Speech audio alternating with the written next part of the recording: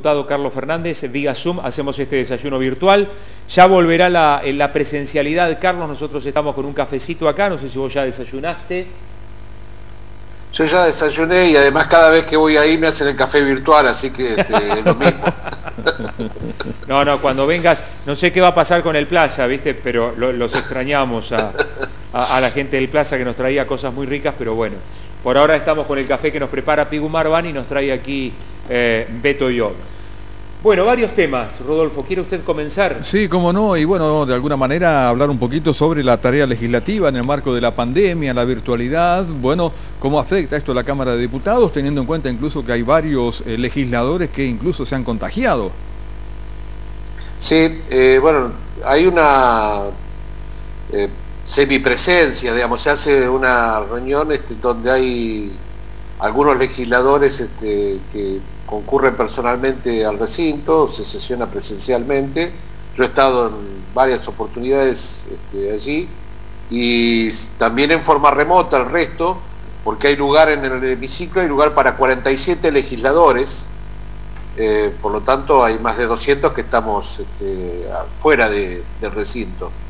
Eh, se funciona por un sistema que tiene este, algunas eh, garantías en el sentido de que además del funcionamiento vía una plataforma como esta que estamos utilizando, eh, similar, eh, hay un VPN con el cual nos conectamos a una intranet en donde hay que sacarse fotos y demás este, para registrar la presencia. Y además cada vez que hay que hacer una votación el mismo sistema este, pide la confirmación este, a través de fotografías que a su vez son cotejadas con el RENAPER, el Registro Nacional de las Personas, que da fe de la autenticidad de quien está frente a, la Cámara, digamos, para, para poder este, emitir el voto, porque obviamente a partir de este funcionamiento se sancionan leyes este, de cumplimiento obligatorio, por lo tanto este, tiene que tener toda una serie de garantías que van más allá del funcionamiento de una plataforma de videoconferencia. Carlos, ¿y qué este, pasó, perdón, qué pasó en el recinto de al lado? ¿Qué pasó con, los colegas senadores? Eh, donde, bueno, o falló la plataforma o hubo algo que eh, hizo que se cayeran los micrófonos porque de otra manera aparentemente no se aprobaba. Bueno, no, eh, que creo que no se aprobó tampoco, porque en realidad este, lo que exige la normativa vigente es dos tercios este, de los votos y esos dos tercios no, estuvieron, así que por lo tanto eh, a mi juicio eso no tiene eh, validez legal y además creo, va, creo no, este, estoy seguro ha sido judicializado este, de tal manera de, impedir que ese trámite siga adelante, la creación de, la, de una comisión. Ahora, más allá de la judicialización, Carlos, eh, más allá de la, judicialización, ¿no, ¿no quedó aprobado eso? No, a mi juicio no, quedó ah, aprobado en forma ilegal. Ah, está bien, pero digo, a, juicio de la presidenta del Senado quedó aprobado. Sí, lo que pasa es que la norma en ese sentido es muy clara, se requieren los dos tercios de los votos y los dos tercios de los votos no estuvieron. A ver, pero no estuvieron... no lo tiene. Pero por esa... Pero no lo tiene... No, digo, no, no estuvieron por la deficiencia técnica, le pongo comillas a esto. No, no, no, no están porque no están, la deficiencia técnica se agrega además, pero digo, no están porque no están la cantidad de senadores necesarios para juntarlos, digamos, esa es la realidad. Así que eso, este, cuando se va, cuando avanza el proceso judicial, este, se va a caer. De hecho, no va a pasar, creo, por la Cámara de Diputados, por lo tanto no va a tener ningún valor porque la creación de una comisión bicameral. Eh, ¿no, fue bastante, ¿No fue demasiado tibia la oposición en, en este sentido? Porque no se escucharon grandes voces o una unidad eh, de la oposición respecto a lo que pasó en el Senado, que institucionalmente, por cierto, fue muy grave. No, hubo un comunicado este, del bloque de senadores y hubo un comunicado junto con el cambio, bueno, a veces digo, ¿cuál es eh, el nivel del planteo? A veces cuando uno plantea muy fuerte las cosas se dice que en el medio de este esquema no se puede plantear, digamos, este, a veces palo porque bogas o palo porque no bogas. En realidad, digamos, el planteo estuvo, la presentación judicial está hecha y yo creo que el proyecto no va a prosperar eh, porque no va a pasar por la Cámara de, Diputados. Pero de todas maneras, allí lo que se da es una situación eh, producto de una mayoría este, muy pronunciada que tiene el Frente de Todos en el manejo del Senado eh, que por suerte no se da en espejo en la Cámara de Diputados, en donde las mayorías son mucho más ajustadas y obliga a un esquema de negociación que es lo que se da. De hecho, eh, estos inconvenientes suceden también por la este, ausencia, el protocolo de funcionamiento remoto que existe en el Senado es mucho más laxo que el que existe en la Cámara de Diputados. este, producto de esta situación también este, de, preeminencia de un espacio sobre otro. Así que eh, ese esquema hoy en la Cámara de Diputados no está sucediendo porque hay otro, otro andamiaje institucional funcionando. Correcto, estamos conversando con Carlos Fernández, diputado nacional, bueno, y de alguna manera esta especie de tregua que había entre oficialismo y, bueno, la oposición también ha tenido algún cortocircuito importante el fin de semana con lo que es el crimen de Gutiérrez, algo que incluso también internamente dentro de la oposición ha generado distintas posiciones a partir del comunicado que se lanzó. Básicamente, ¿cuál es su postura al respecto?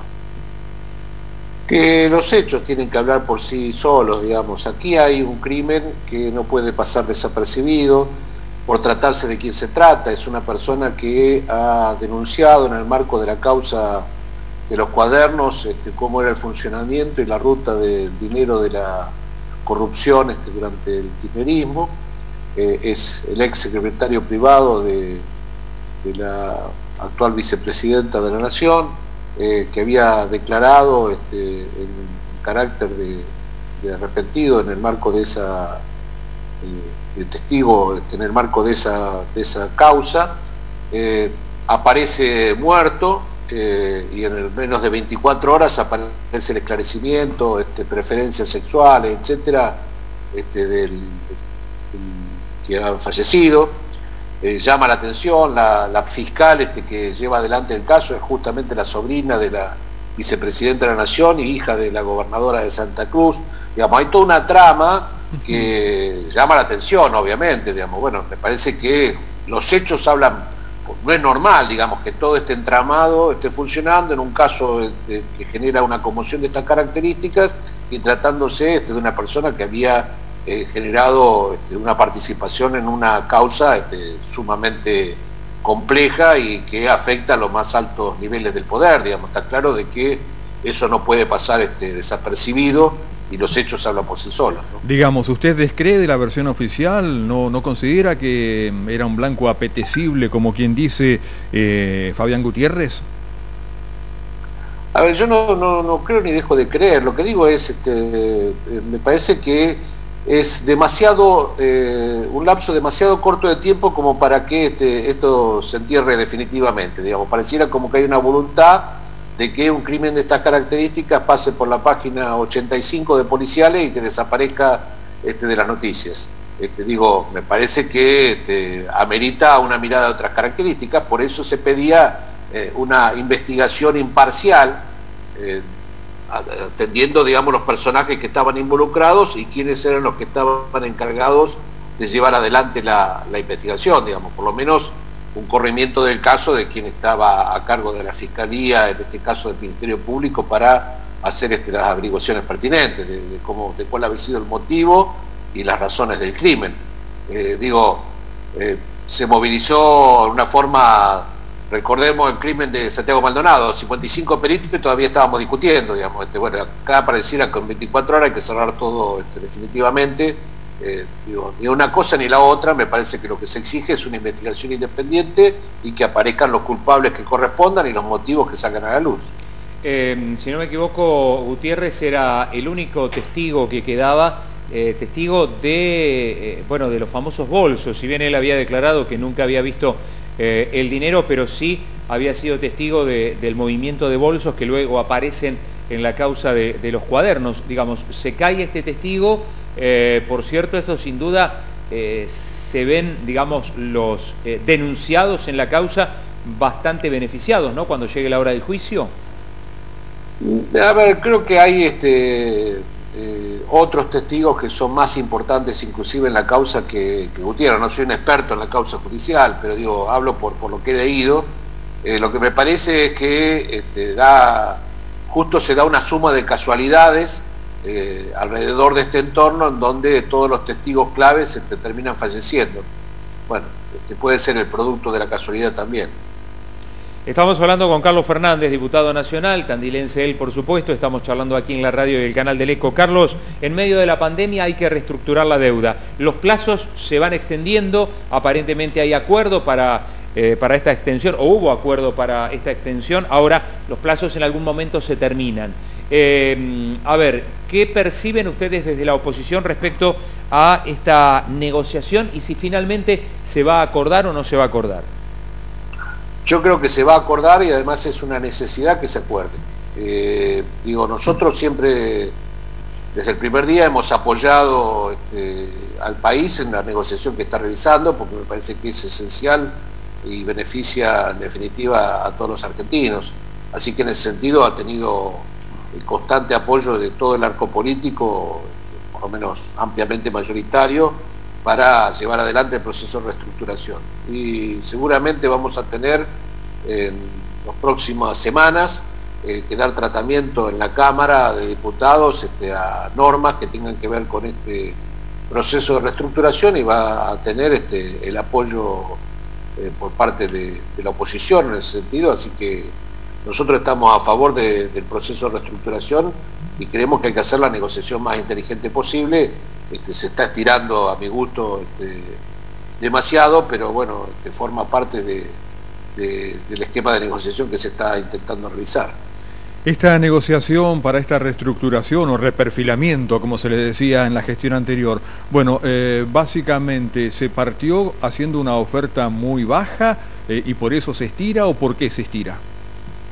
A ver, digo, eh, también es, este, forma parte de un proceso natural de negociación. Lo que pasa es que este, cuando las negociaciones son transmitidas prácticamente en directo, como si fuera un partido de fútbol, este, hay este ida y vuelta que bueno es el, intercambio normal de postura, digamos. obviamente cuando uno empieza en un proceso de estas características, el que tiene que pagar ofrece 10 y el que quiere cobrar este, pide 20.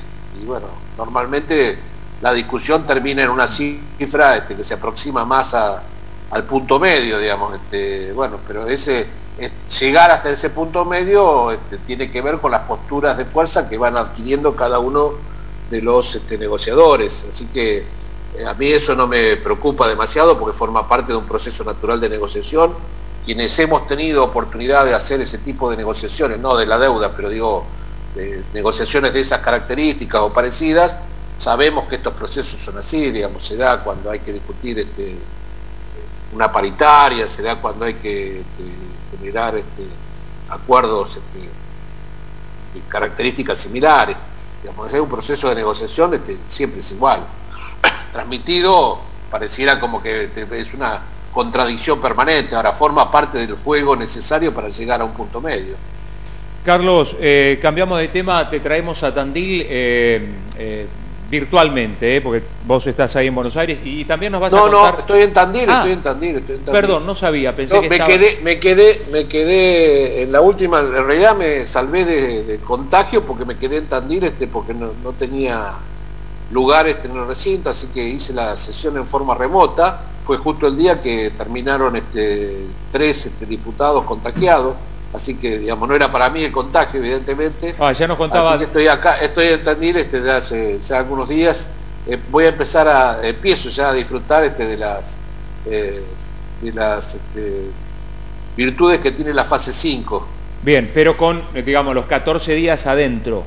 No eso ya lo tuve ya lo tuve. ya cumplí los 14 días así que este, puedo este, tener una vida este, relativamente normal con los cuidados correspondientes aquí en, nuestra ciudad, este, al igual que otros tandilenses que disfrutan de la fase 5, sino cada vez que voy a Buenos Aires, yo vuelvo a entrar en cuarentena cada vez que vuelvo. Claro, claro. ¿Y va a negociar algo de la política tandilense? Digo, ya que hablábamos recién de negociación, de distintas negociaciones. Sí, ya que, estás, ya que dijiste que estás en Tandil. No me corresponde, no me corresponde. hay, gente que está todos los días acá que está más capacitada que yo para eso. Carlos, no te corresponde formalmente, pero vos sos un peso pesado de la política tandilense sin ninguna doble intención, por favor, ¿eh?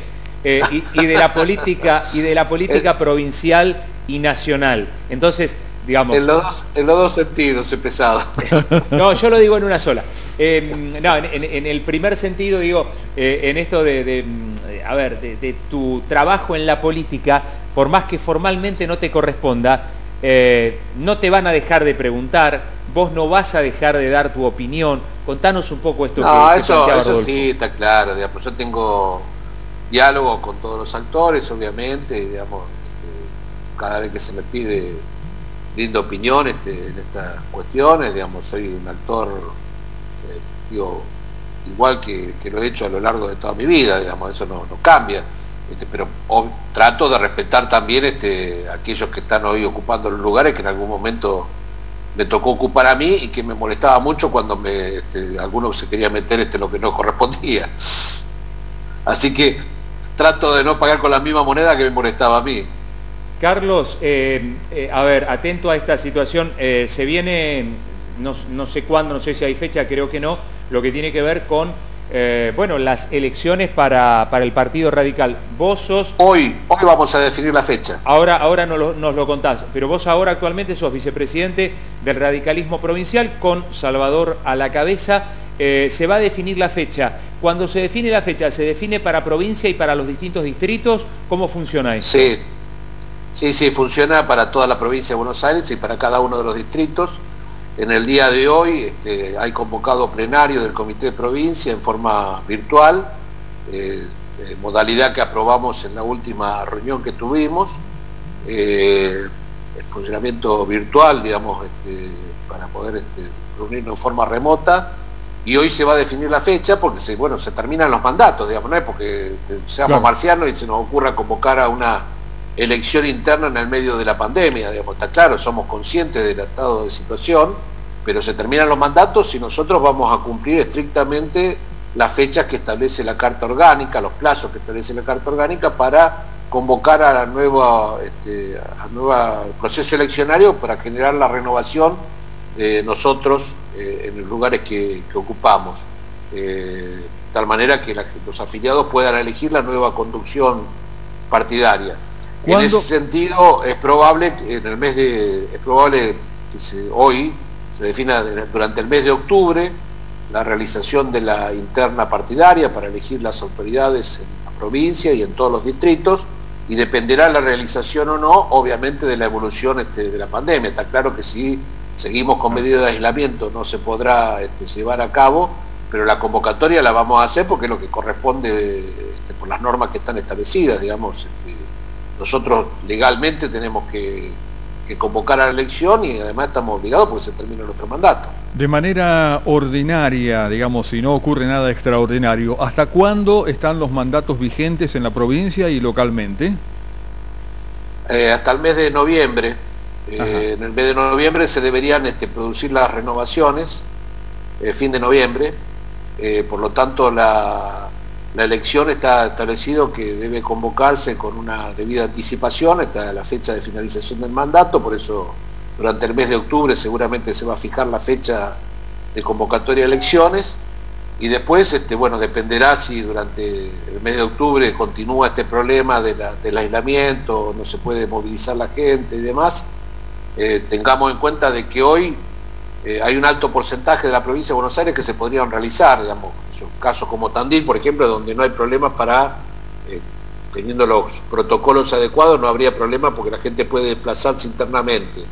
Pero tenemos inconveniente en todo lo que es el AMBA, este, en el área metropolitana, porque allí este, no hay este, posibilidades de desplazamiento, por lo tanto no se podría realizar.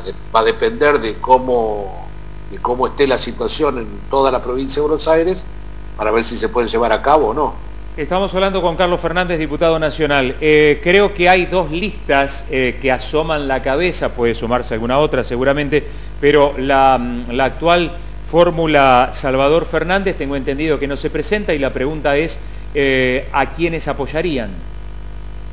No, nosotros estamos planteando mantener el esquema de unidad partidaria que se venía sosteniendo. Este, nuestro candidato es este, el diputado Abad, digamos, actual presidente del interbloque a nivel de la provincia, y la intendenta Erika Revilla, este, intendenta de General Arenales, este, como una fórmula eh, de presidente y vice este, a nivel de la provincia de Buenos Aires. Bueno, por otro lado, eh, creo que tenía serias intenciones también de, ser de ser presidente de la Unión Cívica Radical a nivel provincia. Eh, el intendente Lungui se definió, digamos, tuvieron alguna charla, se definió, eh, digamos, si va a apoyar a Bad, si va a apoyar a Pose o no va a apoyar a nadie, digamos, eh, esto obviamente se lo tendríamos que preguntar a él, pero por ahí... Por ahí claro, no me hagan ser intérprete de lo que no me corresponde, digamos, en todo caso se lo tendrán que preguntar a él. Y además habrá que esperar que las listas estén oficialmente presentadas porque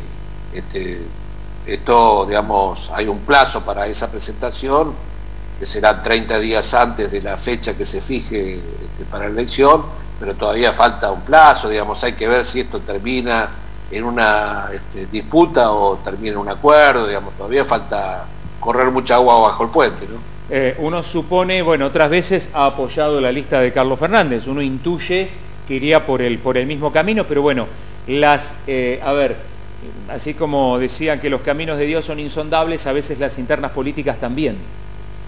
No, por eso digo, yo no, soy intérprete de, nadie más que de mí mismo, digamos, que cada uno responda por sí este, lo que crea que tiene que responder, porque además, digamos, nosotros somos en ese sentido un partido absolutamente horizontal, democrático, en donde cada uno tiene derecho de opinión y lo puede ejercer este, mediante su voto.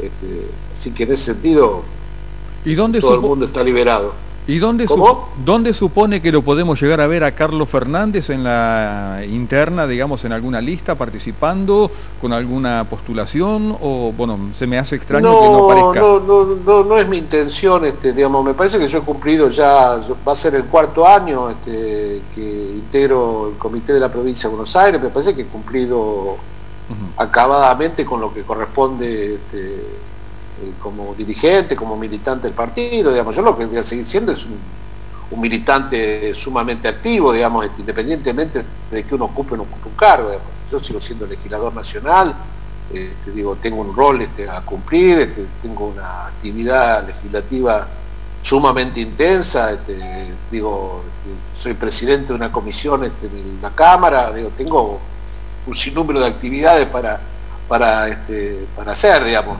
Eh, no sé si voy a ocupar o no, la verdad que no, francamente no, no, no, ni, siquiera lo, pensé, digamos, por ahora este, quiero terminar el mandato que me encomendaron los afiliados, este, termino en noviembre y espero que se produzca una renovación este, que también es necesaria, digamos, yo creo este, que eh, es bueno también este, que exista en algún momento una renovación y una alternancia. Volver al pago chico en algún momento eh, volver al pago chico eh, a la Unión Cívica Radical, no, ¿no?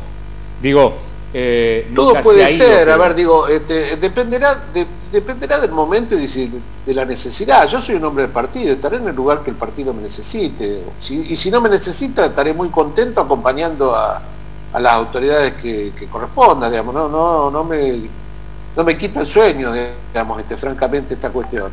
Este, también es cierto que tengo, a veces tengo ansiedades por este, volver a, vivir este, una vida también un poco más normal, digamos. Yo llego, voy a terminar ya con 12 años fuera de mi casa, viajando en forma permanente, digamos. Se vería... el eh, momento en que uno siente las ganas de volver, ¿no? En el marco de esa tranquilidad y las ganas de volver, ¿se vería, no sé, eh, presentándose como eh, candidato a presidente de la UCR local en algún momento? Eh, puede ser, si el partido lo necesita, puede ser. Bien. Eh, atento a que está en Tandil, ¿cómo está viendo, digamos, lo que se está haciendo en la ciudad en cuanto a prevención del COVID, ingresos, egresos, la situación adentro? bueno, venís de, Buenos Aires, del pleno corazón del problema. ¿Cómo estás percibiendo la situación acá en Tandil? Creo que muy bien, digamos, veo a una ciudad muy alerta en términos generales, este, encabezado por, sus autoridades, este, me parece que han generado eh, orden, de hecho, digamos, estamos transformándonos en una isla en serio, porque este, empieza a haber casos en toda la, la zona de influencia, en algún momento seguramente también este, Dios no quiera y que ojalá este, que, no llegue nunca, pero digamos, pero también sería normal este, que en algún momento este, nos pueda pasar este, también a nosotros, este, pero veo a una ciudad preparada, digamos, preparado desde el sistema de salud, este, bueno, no, no, advierto que haya posibilidades desborde, este, y creo que hay también, este, por lo poco que uno anda en la ciudad, este, también advierte que hay un grado de conciencia comunitaria importante, digamos, cuando yo ando en el auto, paso en el auto, veo a la gente con barbijo, este, eh, guardando las distancias, salvo algún caso eh, puntual, pero digamos, en términos generales este, veo que hay un comportamiento comunitario acorde, este, siguiendo las instrucciones que, en este sentido se han planteado, así que en ese sentido lo veo muy bien, eh, con las dificultades propias de este, que las balas empiezan a picar cerca, esta es la realidad, ¿no? Este, y en algún momento este, puede, puede darse porque digo, la cuarentena o la centena a esta altura no resuelve el problema. Digamos, la realidad es que eso es una, es como si tuviéramos una trinchera, pero digamos, cuando salimos de la trinchera el virus sigue estando ahí. Por lo tanto, digamos, este, eh, hasta que no aparezca la vacuna o el tratamiento, este, sigue estando el mismo problema en teoría, digamos, todo este tiempo era para preparar el sistema de salud este, para atender cuando se produjera el pico. El pico se ha venido retrasando, pero el problema sigue estando ahí afuera.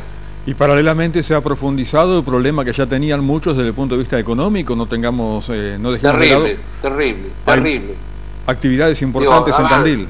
Eh, es un impacto enorme este, que va a tener consecuencias este, terribles. Creo que hay que este, trabajar para para que sea lo más aliviado posible, pero las consecuencias no se pueden evitar.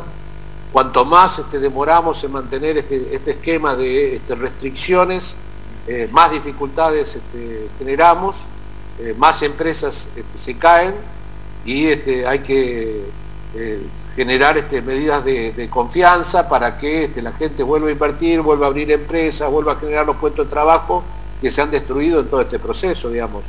Eh, en ese sentido, por eso hago críticas muchas veces cuando este, damos señales equivocadas desde el gobierno, este, mi juicio el caso de Vicentín es un caso típico de, una señal equivocada este, en un momento muy particular en donde hace falta que la gente una vez que pase este proceso este, vuelva a confiar, vuelva a invertir, tenga garantías de seguridad jurídica, vuelva a, a tomar riesgos para generar los puestos de trabajo que se están perdiendo, digamos aquí hay mucha gente que no va a poder volver a abrir, digamos, yo soy, creo que hay que ser conscientes de esta situación y hay que entender este, que con el Estado solo no alcanza, si aquí no hay generación eh, y trabajo de, parte del sector privado, el Estado solo es absolutamente insuficiente.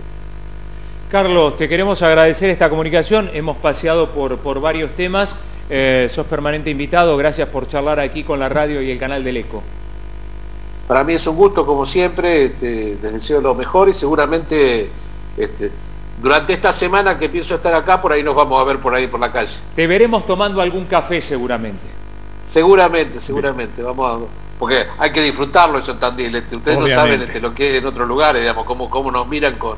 Yo que tengo todo el día este, videoconferencia con gente de distintos lugares de la provincia y demás, no saben cómo nos miran con una envidia. Este, la se está poniendo verde en alguno de envidia. Bueno, yo que vos haría las videoconferencias directamente desde un café, ya con eso los matás. los matás. Claro. Carlos Fernández, muchísimas gracias, es muy amable. No, gracias a ustedes. ¿eh?